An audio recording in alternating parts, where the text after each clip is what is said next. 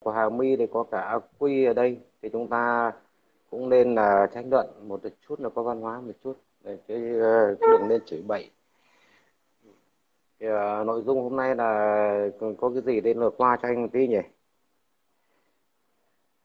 Thì ờ, của mình từ hồi nào giờ là anh em mình thì nói là nếu những cái kiều bào mà họ yêu thương đất nước á thì họ phải uh, xây dựng yêu thương đất nước chứ không phải là đi để chống đối đất nước nếu thật sự mà yêu đất nước thì mình không cần góp gì mình nhưng mình cần góp thì em nói đại khái gì đó. Rồi ok. Thì uh, vừa nãy anh ở bên uh, nhà của Trần Toản nhà Trần Toản có lên một livestream có một uh, cô bạn ở Campuchia và một cái ông uh, tôi tên ở cái cô Lila đấy gì đấy, thì uh, và một ông nên nói là cái luận điệu uh, của bọn chống cộng hải ngoại và luận điệu của bọn dân chủ của trong nước nó chỉ có gần đấy cái luận điệu thôi. À, một yeah. là à, hiện nay đấy là chúng ta đã bán nước cho tổ cộng. Cái thứ hai đấy yeah. là không khí uh, môi trường ô nhiễm. Yeah. cái thứ ba nữa đấy là vấn đề tham nhũng. Thực ra thì cái à, giờ này nói chuyện tình cảm buồn ngủ thế chửi nhau nhá. Nguyễn Chí Ninh nhé chửi nhau thì mình lại không biết chửi mới khổ chứ nhỉ thế thì mình Kể nói có người chửi có người nói chứ. Ừ. đúng rồi có người chửi có người nói. Nói chung mỗi người mỗi người có thế thì mình mới hỏi cái là... bọn chúng xem rằng là nước Mỹ có ô nhiễm hay không. Ừ. nước Mỹ có ô nhiễm hay không? Họ à, à, à, à, Kiều ở đây thì cho linh tăng hỏi là à, nước Mỹ ô nhiễm hay không? Và nước Mỹ có tham nhũng hay không? Và các nước uh, tiên chiến trên, trên, trên thế giới có tham nhũng hay không?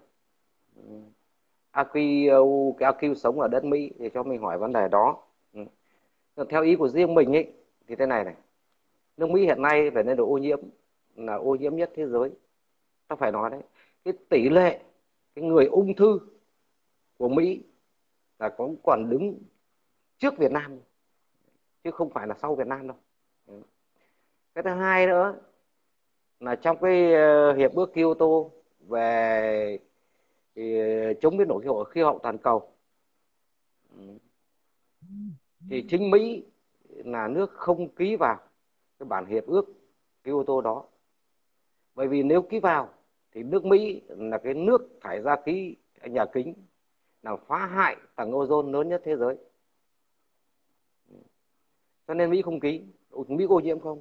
Mà hiện nay đấy cái nhà máy của Formosa sản xuất hóa chất ấy, ở bang Texas, uh, Texas Hoa Kỳ đang xả thải ra ô nhiễm khói đen ngòm cả một khu vực. Người dân đấy đã lên tiếng rất là nhiều. Thì có phải riêng một mình Việt Nam ô nhiễm hay không? Cái tỷ lệ ô nhiễm thì Mỹ là ô nhiễm lớn nhất, nhất thế giới. Tỷ lệ ung thư nhé ung thư đứng trước Việt Nam rất là xa.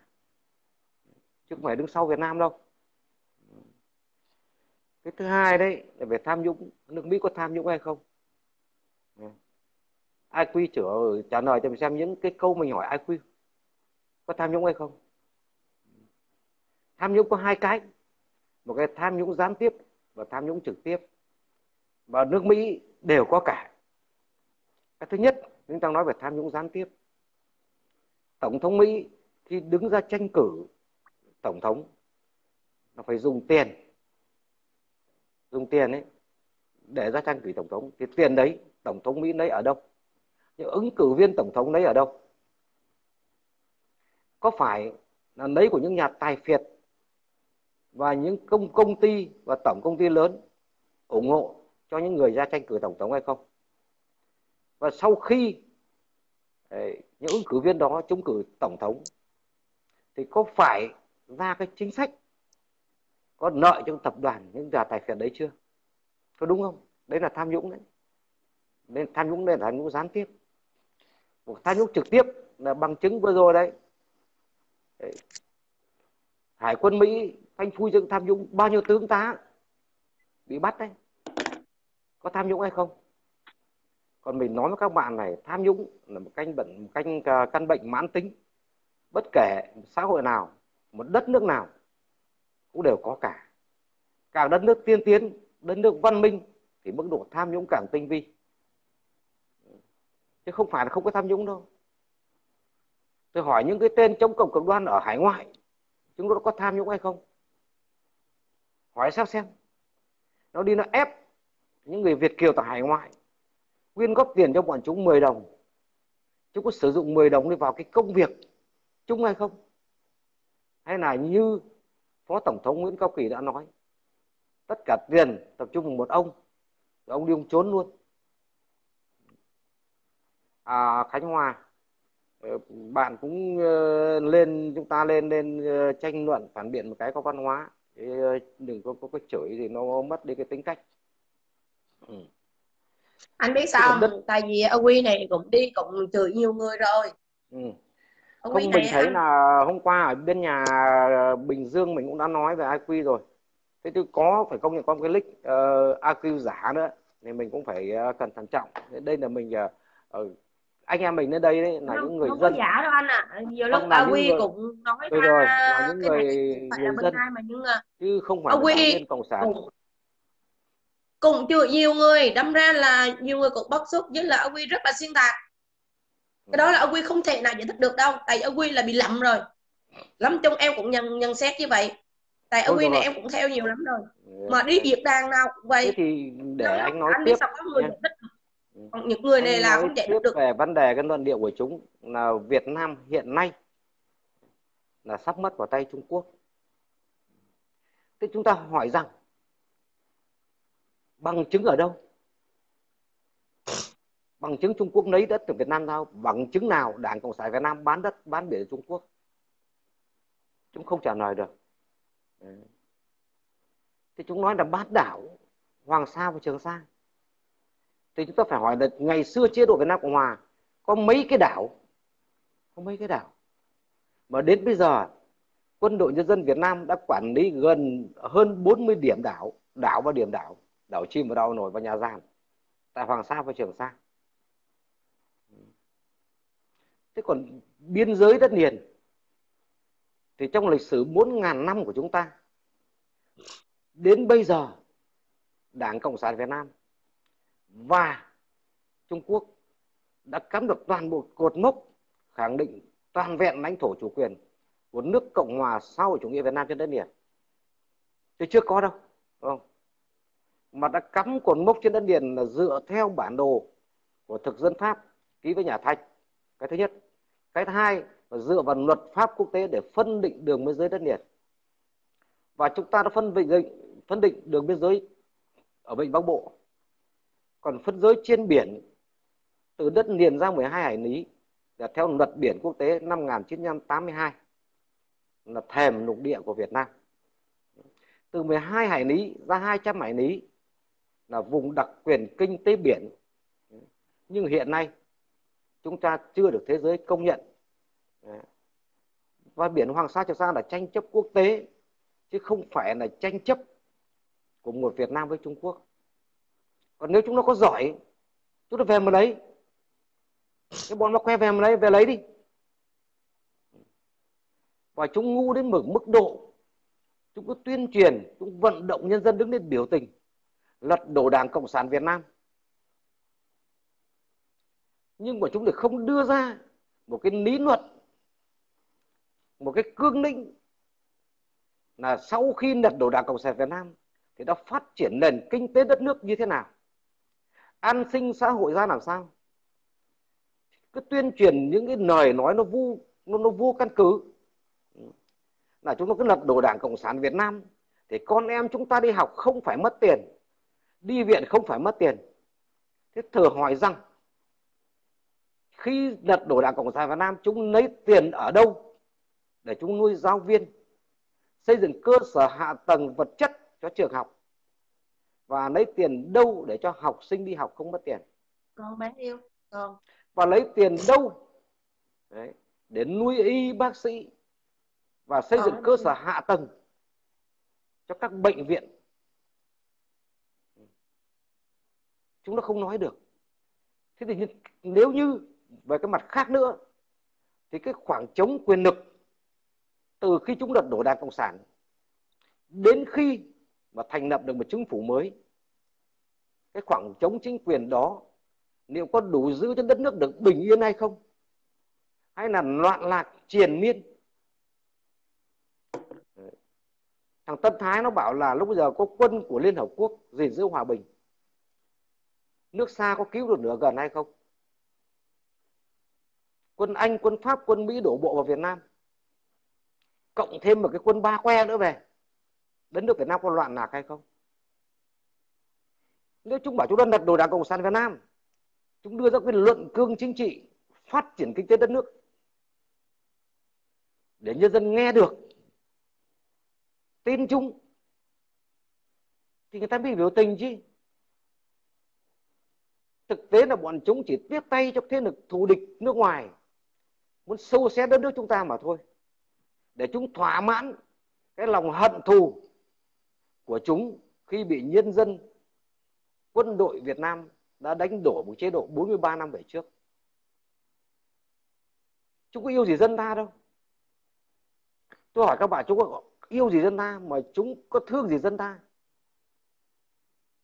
Tôi hỏi thằng thằng Ben Đi Trương, thằng Tân Thái, con Rô Xe Đào và chính phủ Đào Minh Quân. Chúng ta làm gì cho cái cộng đồng người Việt Nam hải ngoại? Ngay cái cộng đồng người Việt hải ngoại có 2 triệu người mà bọn chúng cũng không thể đoàn kết được một lòng để xây dựng một cái cộng đồng người Việt hải ngoại cho nó sánh vai với các cộng đồng thế giới khác. Thì chúng làm gì để cho dân Việt Nam 90 triệu dân? Có hơn 2 triệu người có tên bốn cái chính phủ. Hàng trăm cái hội đoàn mà còn đấu đá nhau, còn chửi nhau, chí chóe suốt ngày. 43 năm có nẻ chưa thành lập được chưa bầu được ra một cái chủ tịch cộng đồng người Việt hải ngoại cho nó ra hồn.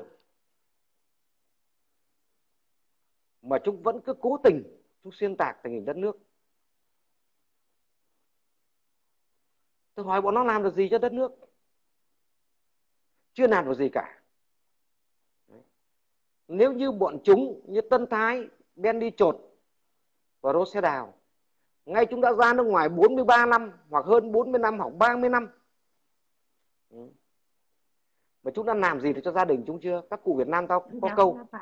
nào trước hết phải tu thân tề gia trị quốc mới bình được thiên hạ. À, Trang Nguyễn à, à vâng tôi nói thì bạn nghe thấy mệt thì nếu bạn nào cảm thấy tôi nói mà nghe thấy mệt thì uh, bạn có thể ra ngoài bạn ra ngoài, trang nguyễn có thể ra ngoài.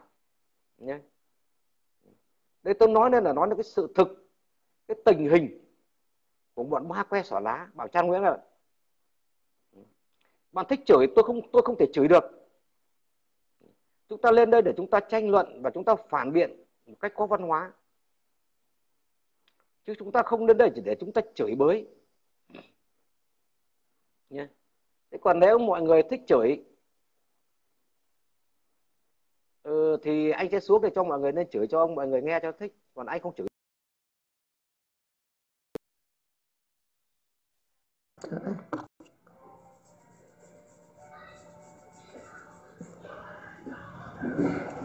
Cái này. Họ có người họ giữ được mỗi người mỗi tánh có người thì không chửi.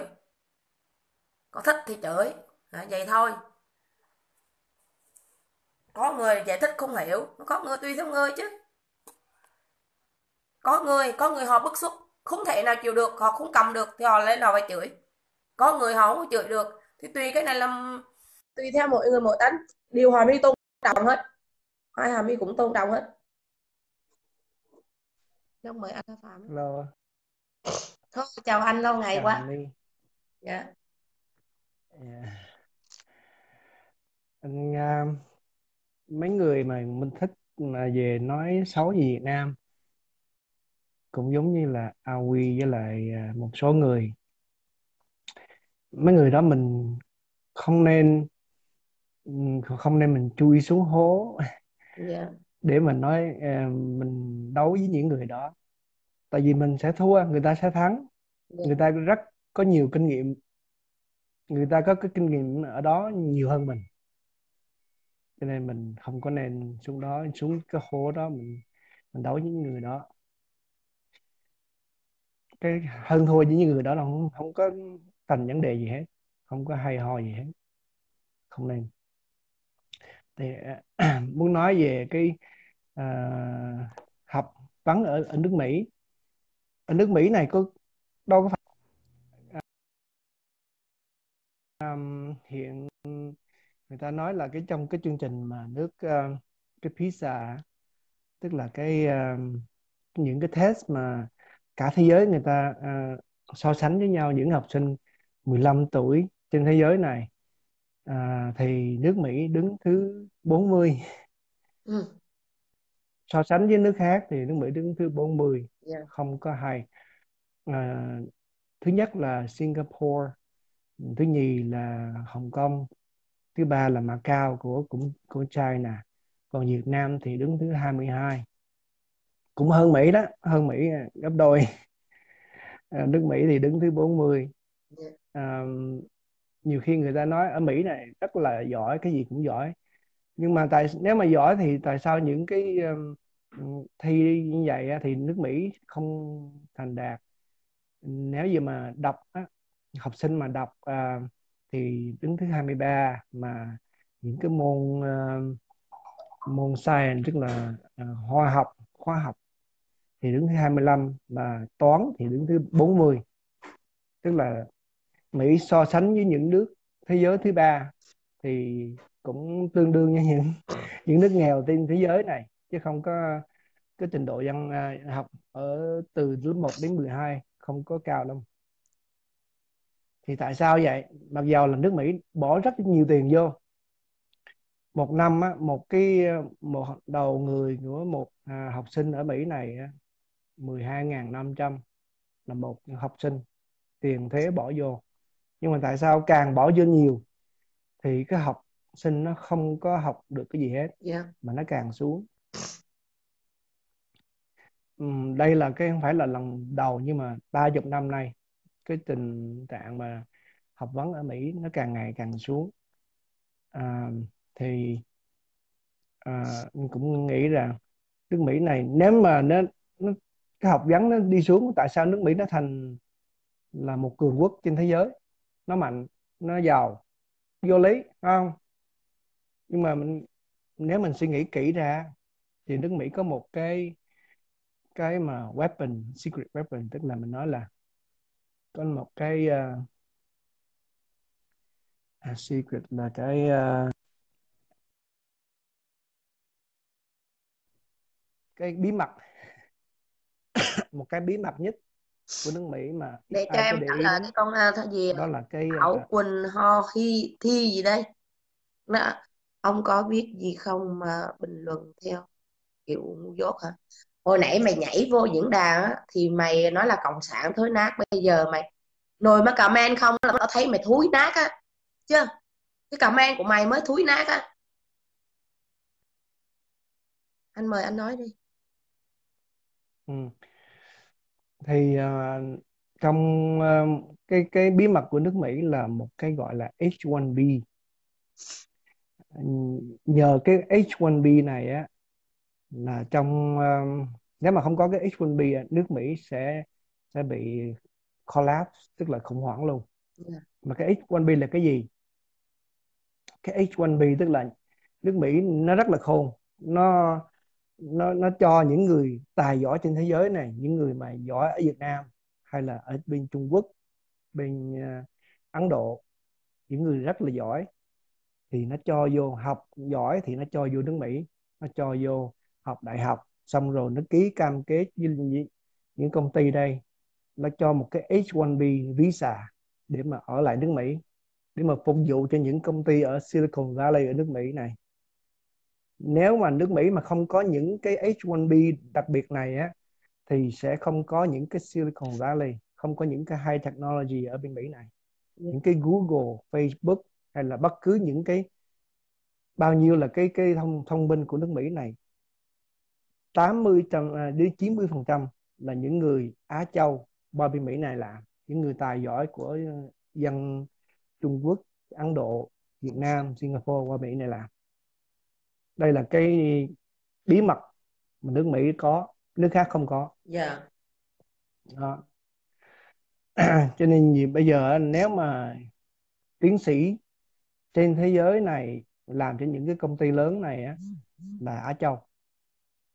50% tiến sĩ là dân Á Châu không. Đó. Còn nếu mà trình độ học học vấn thì dân Mỹ thì nó rất là à, không không bằng Việt Nam đâu thua thua Việt Nam xa rồi. Nó thua Trung Quốc rất là xa rồi. 30 năm nay chứ không phải là là lần đầu đâu. À, cho nên mình khi mình nếu mình uh, suy nghĩ lại mình đi coi những cái cái cái test result đi hay là những cái mà cái um, mấy cái bài thi hai một ngàn năm 2015 mình so sánh đi. Yeah. Dạ. so sánh cái điểm nào cao nhất? Mỹ đứng thứ mấy? Tại sao lại Mỹ đứng thứ 40 mà sao tại sao Mỹ là cũng là à, giàu có? Tại vì nó thu tất cả những người tài giỏi nhân tài của thế giới đem về đây. Nhưng mà những nước đó người ta sẽ đi về lại nước ta. Những cái nhân tài người ta bên Trung Quốc người ta sẽ từ từ người ta thành lập cái Silicon Valley của bên Trung Quốc cái Silicon Valley của bên India. Ở Việt Nam cũng sẽ làm thành lập như vậy.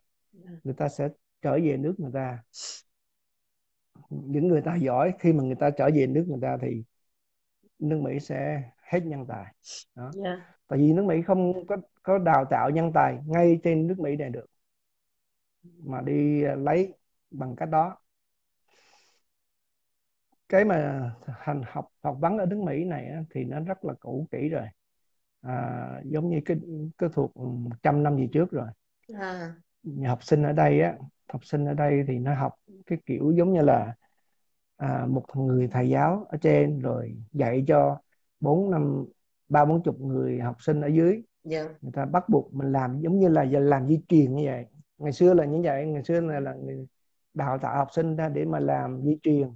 Dạ. tức là khi mà di, di truyền tức là một người à, một cái cái công ty như vậy nó cần người làm một cái một cái thôi yeah.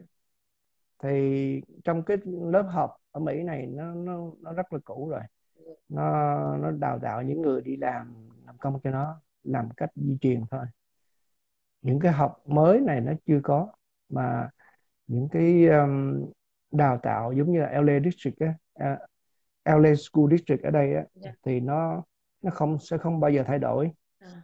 tại vì nó um, những người đi dạy ở đây á người ta bảo vệ cái cái quyền lợi của người ta. Quyền lợi của người ta là có cái công ăn việc làm để có tiền. Mục đích của đó là của người ta nó khác hẳn với lại đào tạo cho học sinh. Ở, ở LA School District á, là cũng như là không thể nào mà đuổi học đuổi được thầy giáo được. Thầy cô giáo mà người ta không dạy người ta làm bê bối cũng không đuổi được. Vô lý lắm cho nên khi người ta làm uh, quá giải thích uh, cho em 5 phút giải thích uh, gì? Anh Hà Kiều này cái đó là tùy theo bạn. Đừng có nói là mình là người yêu nước thì nói không nghe. Chẳng luôn đâu cần chửi. Cái đó là tùy của bạn. Bạn đừng có lên đây mà bạn ờ, phải dạy người ta này là cái thế nào. Nó tùy bạn. Tùy bạn mỗi người. Ở đây lên có mỗi người tiếng nói. Còn bạn không thích là tùy bạn. Đừng có dạy tôi ờ chẳng hay không chần tùy bạn, tôi thích để như vậy. Để cho họ nghe có người chửi, có người cũng phải chửi, có người cũng nên giải thích. Đó là tùy bạn bạn có thích thì thích cho bạn đừng có dạy tôi ừ không thích là chặn về cái đồ, đó là tùy bạn. Cũng có ờ, không cũng có tư cách để ờ, chỉ tôi đâu. Còn bạn thích nghe thì bạn nghe bạn nghe thì bạn đi ra. Tôi là tôi nói thẳng này đó. Em mời anh thì những cái um, thầy cô giáo ở LA District School ở đây á, Los Angeles thì mình thấy rằng là những cái người dạy đó người ta không có lo cho học sinh nhiều. Tại vì người ta lo cho bổn phận người ta có lương là đủ. Mà khi người ta làm trên 10 năm không bao giờ mình có thể đuổi người ta được. Mặc dù người ta không có dạy cho con cái mình không không thèm dạy luôn. Người ta không làm luôn cũng không đuổi được. Đó là cái quyền gọi là cái quyền uh, của nó. Cái quyền lợi của nó rất cao. Mặc dầu nó không có làm gì hết mà nó cũng vẫn lãnh lương mà không đuổi nó được. Cái đó là nó không có tốt rồi. Yeah. Dạ. lúc đầu thì nó mở ra để để mà nó bảo vệ cho thầy cô giáo. Nhưng mà khi, khi đến cái giờ phút này thì nó không còn bảo vệ nữa mà nó còn nó lạm dụng cái cái quyền lợi đó nó sẽ bóc bỏ, bỏ bao nhiêu tiền vô thì không không có còn hiệu quả nữa. Yeah. thì học sinh lần lần nó càng đi xuống. Khi mà nó càng đi xuống là nó làm những cái bài thi dễ thêm để cho học sinh à, đạt điểm tốt. Nhưng mà càng dễ thêm thì càng học sinh càng đi xuống thêm nữa. À. đó. Đây là cái những cái mà nếu mình không thi đấu hay là so sánh với những thứ quốc gia trên thế giới thì mình đâu có biết được. Nhưng mà khi mình so sánh rồi mình nước Mỹ nằm thứ bốn thứ 40 tức là không còn cái gì nữa gọi là gọi là cường quốc cái gì nữa. Tại vì không có còn khôn ngoan so sánh với những nước khác rồi. Còn những cái việc mà người ta nói là à, những người làm ở nước Mỹ thì à, không có um, gọi là không có tham nhũng không có tham ô có chứ. Ngay ngay những cái bà mà Hillary Clinton mà ứng cử tổng thống của Mỹ bà cũng tham nhũng chứ rất nhiều. Tại sao khi mình thấy uh, khi mà bà làm trong cái cái tòa bạch ốc thì ông chồng bà đi đi gọi là đi ờ, speech tức là mình đi nói chuyện nhiều khi một cái cái cuộc nói chuyện của ông 20 phút mà những công ty này trả 750 ngàn đô 20 phút nó vô lý lắm tại sao mà nó trả như vậy thì thấy rằng tại vì khi mà ông đứng ra ông nói 20 phút cho những công ty đó Yeah. đó là cái bằng chứng để mà nó đưa tiền cho ông Ừ. nhưng mà cái cách âm mưu phía sau á thì nó sẽ bà Hillary Clinton là bà sẽ hứa bà sẽ đưa cái luật này luật kia làm lợi cho những công ty khác đó. Cho nên trong trong một thời gian ngắn là ông Hill, um, Bill Clinton đã được 125 triệu đô Yeah. để mà đi chỉ đi giảng đi nói nói chuyện 15 20 phút một tiếng đồng hồ thôi mà được ra. à, 125 triệu đô đó cái chuyện đó là vô lý. Nhưng mà cái cái âm cái cái phía sau của người ta là người ta làm làm cái luật để cho nó lợi công ty thì công ty nó sẽ trả tiền. Đó là cái à, cái mà bí mật. Bí mật của nước Mỹ. Yeah. rồi tại sao những cái ông tổng thống nước Mỹ này sau khi mà về hưu rồi á ông nào cũng có một cái cái thư viện. Cái thư viện á thư viện là để tên là Bill Clinton à, thư viện là, là cái cái thư viện thư viện của uh, George W. Bush rồi George Bush ông cha ha à, hay là Obama thư viện. Cái thư viện này á tức là khi mà ông tổng thống này á ông làm tổng thống ông có móc nối với những công công ty rồi. Yeah. những cái công ty này á, ông làm cái luật để cho nó lợi cho những cái công ty này xong xuôi rồi xong cái nhiệm vụ 4 năm 8 năm xong rồi á thì những công ty này nó được cái quyền lợi của nó rồi. Thì khi ông tổng thống đó mở ra build, xây một cái thư viện đó cái thư viện nó nhiều khi mà xây cái thư viện nó có một triệu thôi nhưng mà những công ty này nó donate nó, nó cho tiền vô những cái thư viện đó. Ừ. thư viện nó cái hàng trăm triệu luôn. Thư viện nó có ai? Của ông tổng thống. Thì ông rút tiền ra. À, đó là cái bí mật cái bí mật mà người ta không có ai nói đâu. Họ làm cái gì cũng có cái bí mật họ hết chứ không có gì mà, mà hoàn hảo. Tinh là họ che nó rất là tinh vi. họ che đầy à, giỏi quá. Anh công nhận họ che đầy kín giỏi. Nó mưu mô mà rất là tinh vi. Mà Việt Nam cũng đừng nên học hỏi ba cái đồ này. Dạ đúng rồi đó. Đấy chứ dụ như là nước Mỹ nó nó đất nước nào nó cũng có Nó cái làm- mặt trái mặt phải hết anh công nhận không? Nó có mặt trái mặt phải đúng rồi dạ. có gì mà hoàn hảo? Cái ờ, nước Mỹ này á mình lái xe á cái cái xe nó có cái Viber. Cái Viber tức là cái ờ, khi mà mưa xuống á mình phải quay à. gọi là Viber. À dạ. Thì anh để ý rằng năm năm nào nó cũng hư. Ừ. Năm nào cái cái miếng cái miếng nhựa đó nó nó, nó róc ra nó tróc ra nó hư hết. Thì mỗi năm như vậy á Dạ. mình thay ngày xưa thì nó, nó nó cho cho mình một cái miếng miếng cao su nhỏ nhỏ thôi. Dạ. Mình mua khoảng một đồng hai đồng gì đó. Mình thay vô. Dạ. Nhưng bây giờ nó không có bán cho mình một cái miếng cao su nhỏ nhỏ đó nữa. Nó bán nguyên một cái bộ vậy á một cái cây bự vậy nó có sắt 15 đồng. Đó một cái xe mình cần phải ba ba cây ba cây như vậy để mà mà để mà quay cái cái, cái mưa xuống.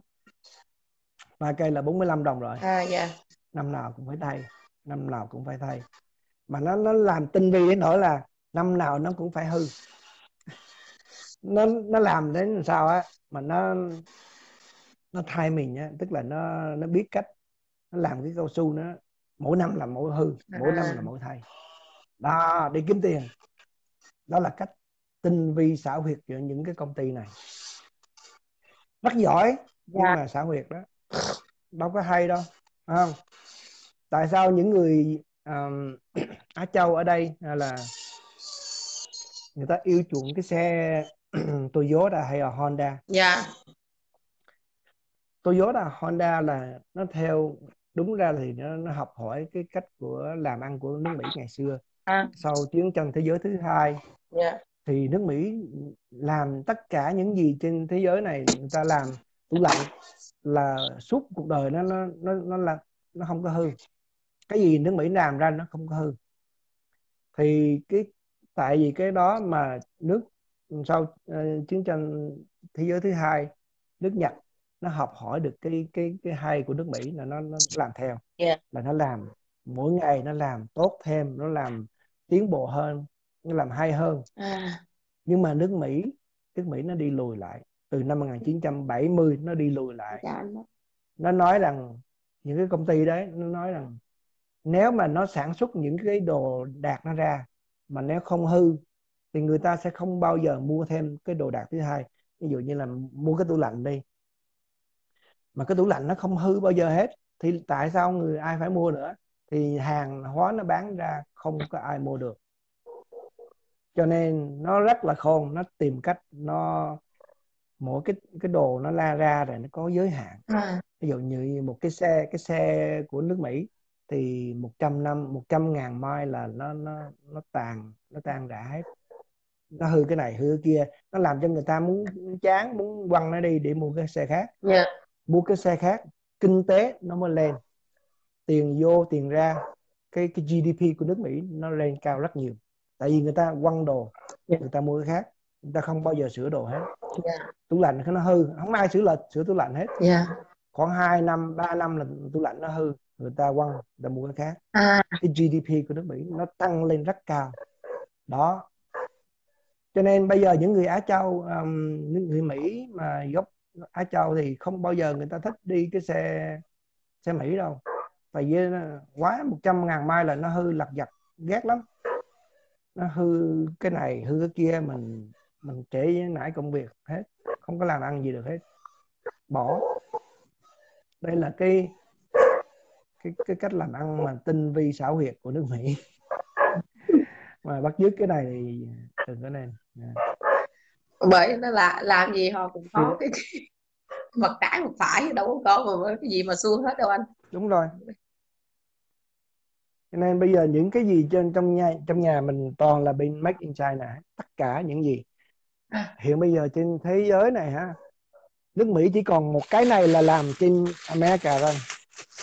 Cái này là cái máy à, à, cái máy mà máy xay bột á. À là Đó. Chỉ có cái công ty này nó nó còn nó còn làm trên trên nước Mỹ thôi.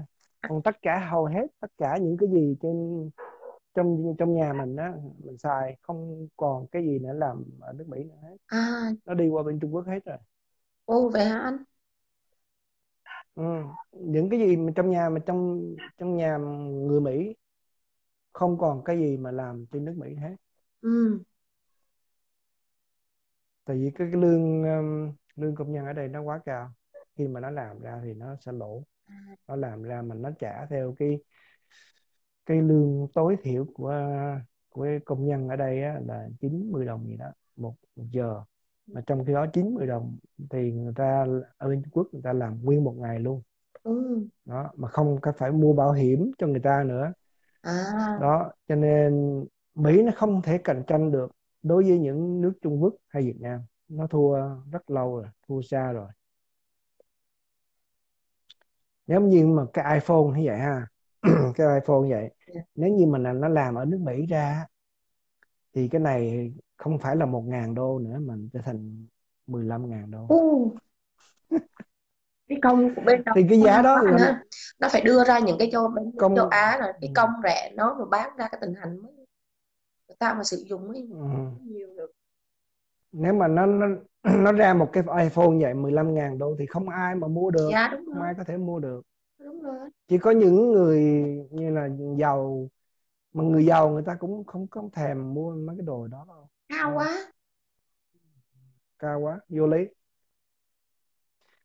Đó. nhiều khi anh nghĩ là ông tổng thống um, Donald Trump muốn đem công việc của uh, công ty khác đi về đến Mỹ rất là khó tại vì những công ty đó nó về đây á khi mà nó đem về đây á mà công nhân lương cao quá thì nó làm không được nó bán ra không được nó bán giá cao không ai mua hết đúng rồi anh không đổi chỉ còn cách là nó làm là những cái tự động thôi Dạ. nó làm mấy con robot nó làm ra những cái này thôi mà khi nó làm robot ra đó thì công nhân nó không không bao nhiêu người tự động mà ừ. Rồi cái nhiều nhiều cái là cái kinh tế ở đây thì nó nó cũng không có lên cao đâu. À, ừ. nó bị khủng hoảng mà bây giờ người ta muốn làm cho khủng hoảng nó chậm lại. Ừ. Xong nó có một cái mà phải khiếp không? Bên đó thật ra tại một cái phải khiếp.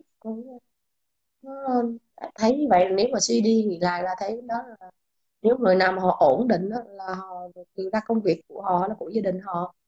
Chứ còn mà ừ. nếu mà công ăn việc làm mà nếu một số đông dân nhi bên đất nước mình chắc thất nghiệp nhiều lắm. Họ, hiện bây giờ thất nghiệp rất nhiều. Dạ, à, họ đầu tư nhiều- một cái khi ờ, mình coi những cái tiền tiền trả công nhân người ta làm cao quá rồi họ nâng cái giá thành lên cao quá là người ta không họ không có tiêu dùng nhiều ừ. phải vừa phải cái như vậy là nó rồi họ Dạ.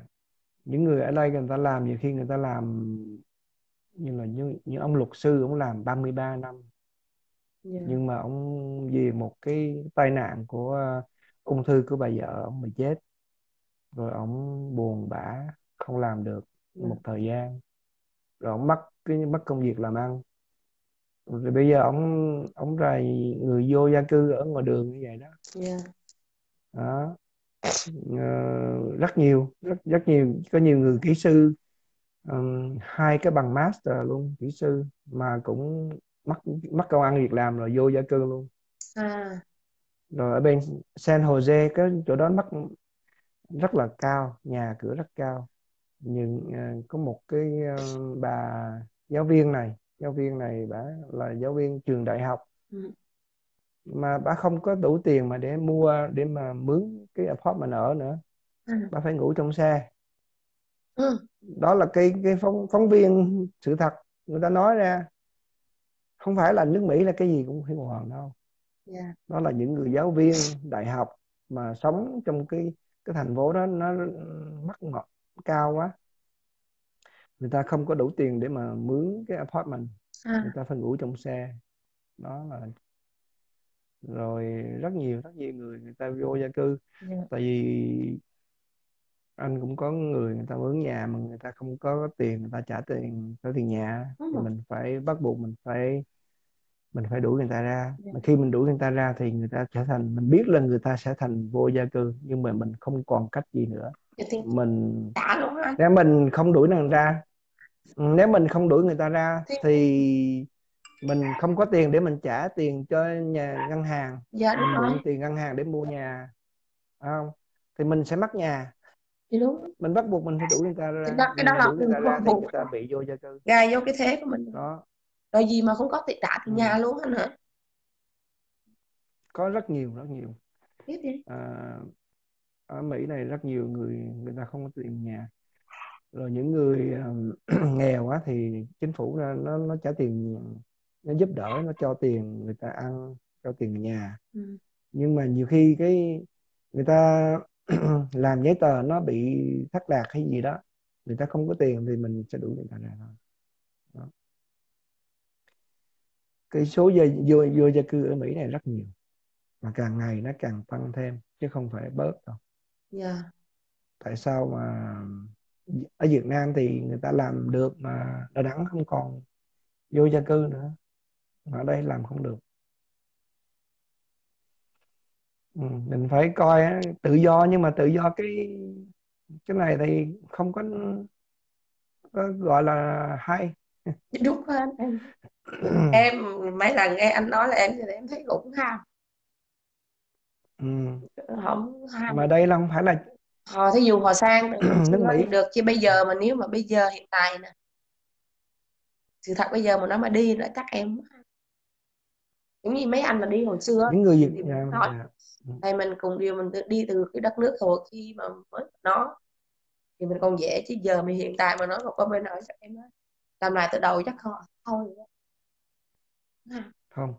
Người, tại ngày xưa những người người ta rời Việt Nam là qua đây là người lúc đó là mình đói. Người nghèo. Dạ đúng rồi. Người mình tay tay trắng tay không không có gì hết. Dạ.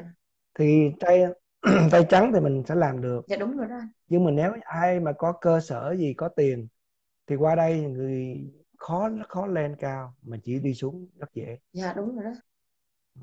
Qua đây chơi thì được Ừ. qua đây biết nước Mỹ thì được. Nhưng mà qua đây cạnh tranh với những cái ờ, người ở đây á Ừ. thì không có dễ đâu không dễ đâu. Đi làm ăn ở đây cái luật lệ nó rất là khó. Nó căng đó anh ơi. Nó quá em thấy nó một rừng luật luôn. Em thấy nói chung là các nước bên là thì em thấy cái luật nó nhiều quá nhiều luật quá. Nhiều luật lắm. Dạ đúng rồi đó. Ừ. nó khóa tay nó khóa tay mình không có làm được gì hết. Đó. Anh cũng đi ờ, họp với những cái công ty mà đầu tư ở đây á bất động sản.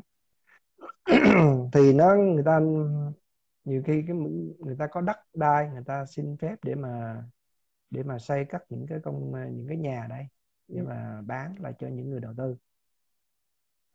Trong cái khi xây xây xin phép á tốn 9 năm mới được cho phép. Lỡ là người ta xin xin mỗi ngày đó hay là ờ, mà 9 năm sau người ta mới được giấy phép để mà xây nhà. À với một điều kiện là cái công ty này phải cắt ra 50 acre 50 à, acre tức là một cái acre nó bằng hình như là bằng một cái hecta gì đó. À. Ừ, năm 50 cái hecta đất cho cái thành phố đó. Dạ. Rồi 20 20 phần trăm của những cái nhà đó ví dụ như người ta đã làm à, xây 100 cái nhà đi Ừ. 100 cái nhà 20 20 cái nhà nó bán bán lỗ cho những người nghèo.